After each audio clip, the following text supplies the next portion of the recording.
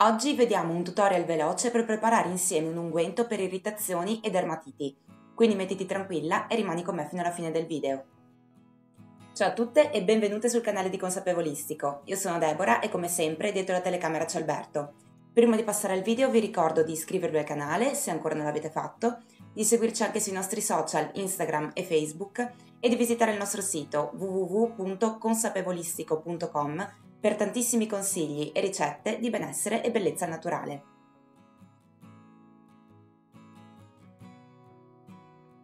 Nel video di oggi vediamo come preparare un facilissimo unguento che va bene nei casi di irritazioni, dermatiti e anche per eczema. E andremo ad usare ingredienti che sono lenitivi, antinfiammatori, cicatrizzanti e anche antisettici in modo da poter prevenire contemporaneamente anche eh, magari eventuali infezioni proprio nella zona in cui la pelle magari si trova irritata e quindi più esposta a questo tipo di problematiche. Per quanto riguarda gli ingredienti vi lascio le quantità in descrizione al video come sempre, insieme anche ai link utili per andare ad acquistare le materie prime che vi serviranno e anche i nostri codici sconto che potete utilizzare per risparmiare. Prima di lasciarvi il tutorial vi ricordo che se volete approfondire l'argomento bellezza in Ayurveda potete dare un'occhiata al nostro corso online Bellezza Integrale Ayurvedica e se volete ricevere l'indice con tutti i vari dettagli eh, potete mandarci una mail all'indirizzo che vi lasciamo qui sotto in descrizione al video. E adesso finalmente vi lascio il tutorial. Allora partiamo mettendo il burro di cacao a fondere a bagnomaria a fuoco molto molto basso. Una volta che vediamo che il nostro burro di cacao si è completamente fuso, andiamo a spegnere il fuoco e aggiungiamo il burro di mango oppure il burro di karité.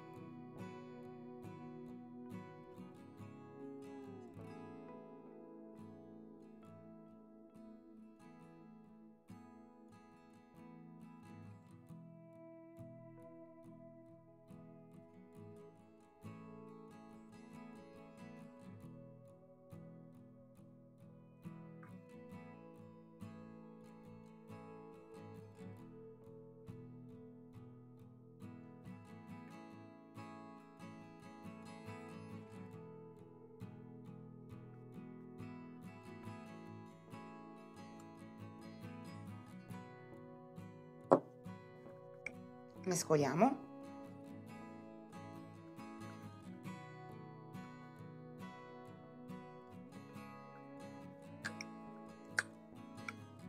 Questo lavoro si fa a fuoco spento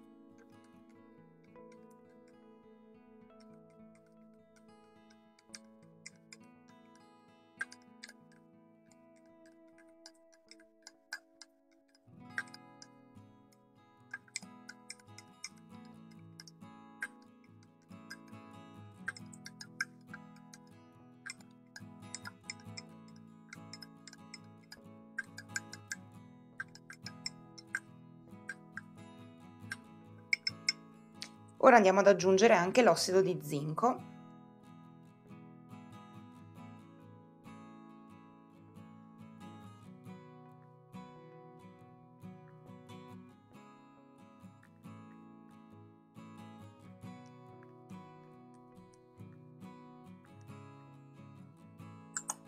E mescoliamo ancora.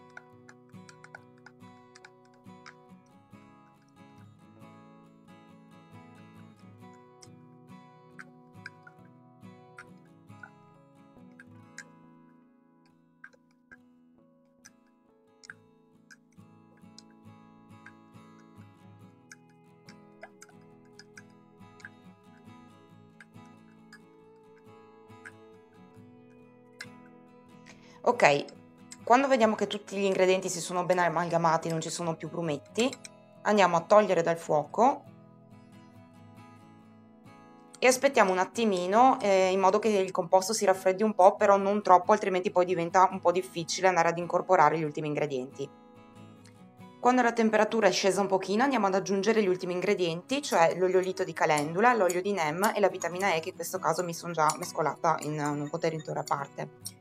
Quindi li andiamo ad aggiungere tutti insieme.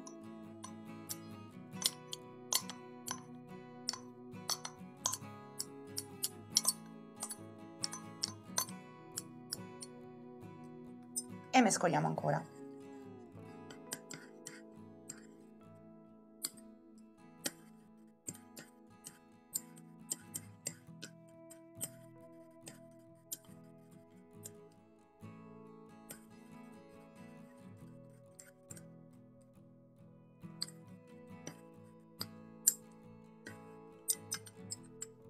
E infine andiamo a, travasare all'interno di un vasetto.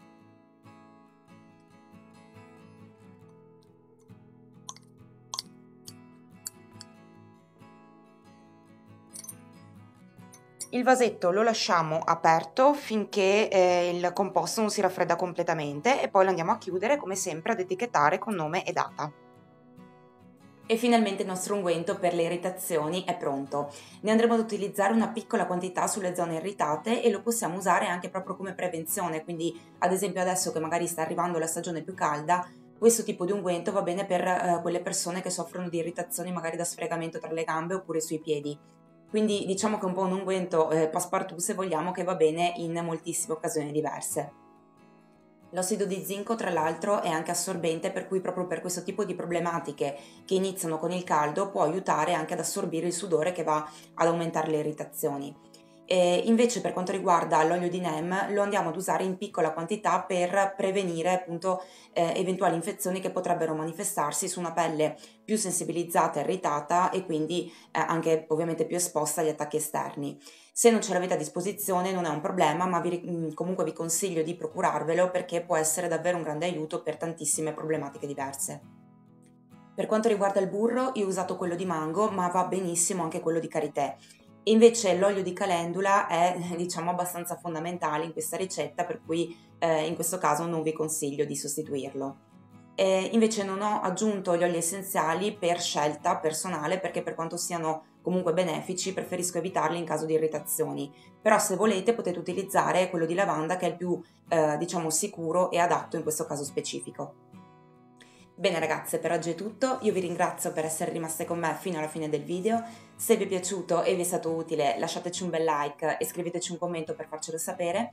E noi ci vediamo alla prossima con un nuovo video, intanto vi mando un bacione, ciao!